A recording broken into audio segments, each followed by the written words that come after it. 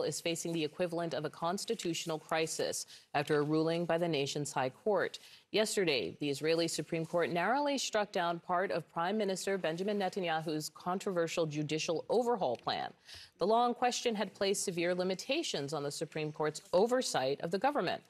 The law passed last summer after months of massive protests.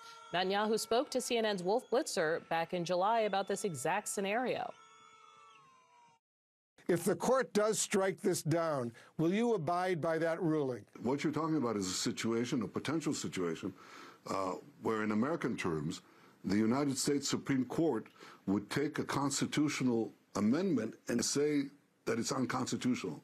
That's the kind of uh, uh, the, the kind of spiral that you're talking about, and I hope we don't get to that. Joining us now is Mark Regev, senior advisor to Israeli Prime Minister Netanyahu and former Israeli ambassador to the United Kingdom. Mark Regev, I just want to start with what we just heard. Um, Netanyahu saying that he hoped it wouldn't come to this. Now that you are here, uh, does he plan to respond to this and abide by this ruling? So, so far, we haven't had a, a, a public comment from the Prime Minister.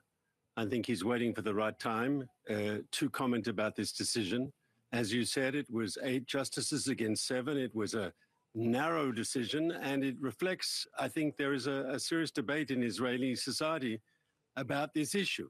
But I can tell you what there is no debate about, and that is that this issue needs to be put aside, and we have to now focus on winning this war against Hamas because the the, the, the debate about judicial reform is a divisive factor, and, and this is not a time for, uh, for divisive political issues. This is a time to focus on what needs to be done, dealing with this ex- existential threat to Israel. Uh, Hamas, we have to end this uh, terror enclave on our southern mm-hmm. border. Uh, you know, a member of Netanyahu's party, the former diplomacy, a former diplomacy minister, issued an apology over her role in this judicial overhaul bill. The reason why I'm bringing this up is because she connects it to the October 7th attacks. She says, quote, I was one of those people that caused the state to be weakened, that harmed people. I created a split, I created a rift, and I created tension. And this tension brought weakness, and this weakness, in many ways, brought massacre. Um, can, can you talk about this apology and whether you think it is time for this administration to start addressing these concerns? So it's clear that during the very, very uh, uh, uh, forceful, uh, vibrant uh, polemics on both sides of the issue, uh, things were said that would have better not have been said. And I think the, the debate was at times overly passionate. And, and one of the things that I think we learned on October 7th is that when Hamas stormed the border and they started massacring our people, they didn't ask us uh, what is our position on judicial reform. They didn't ask us if we like or don't like the prime minister. They didn't ask us if we were left of center or right of center. They, they, they killed everyone randomly. And, and today, fighting in Gaza, in the same tank, you'll have people who, who, who like the prime minister and who don't like the prime minister. You'll have people who support judicial reform and people who oppose judicial reform. But I think uh, uh, September 7th, sorry, October 7th showed us that we are facing external threats that really uh, uh, uh, cast a shadow over any sort of internal debate over judicial reform. There'll be a right time in the future once this war is over to go back and discuss the ins and outs of judicial reform. But at the moment, crucial that we focus on winning this war against Hamas. But do you think that Netanyahu has the public support he needs to pursue this conflict to its end? Meaning there have been concerns, protests about his focus on the hostages. There is this judicial issue, which people do see as part of the existential conversation about government checks and balances and policy in Israel and policy that is uh, affecting Gaza. So do you think that support will continue? Um, so that he can, as you said, finish this war.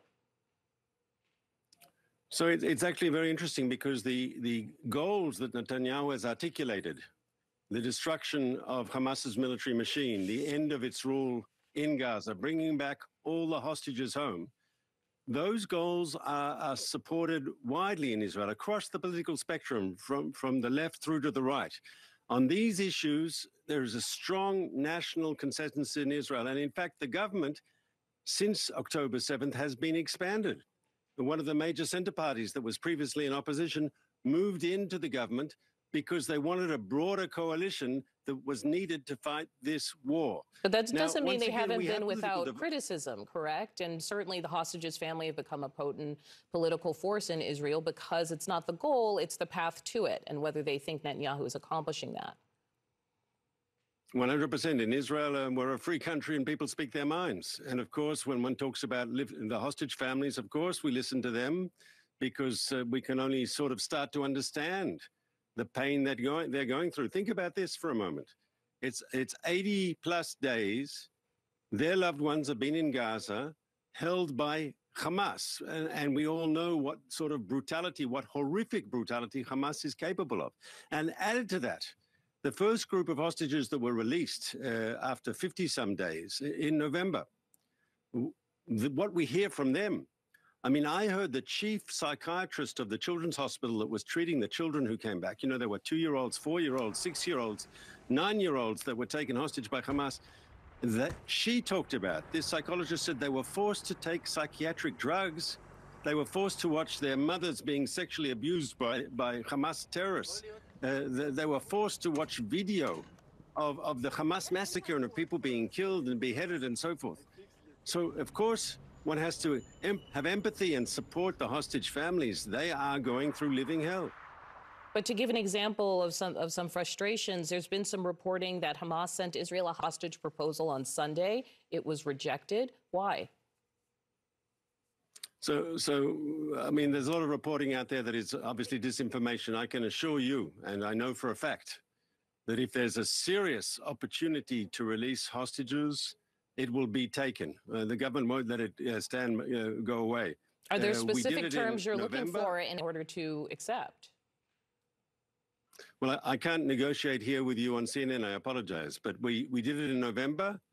We can do it in January. But one thing has to be clear.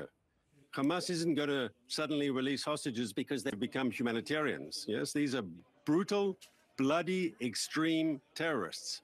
They will only release the hostages if they're under pressure. Joe Biden said, your president, that Hamas only understands pressure. And we're applying that pressure now. The Israeli military campaign is applying pressure on Hamas. That very same pressure can expedite, we believe, the release of hostages. Mark Regev, thank you for your time. Thank you for having me.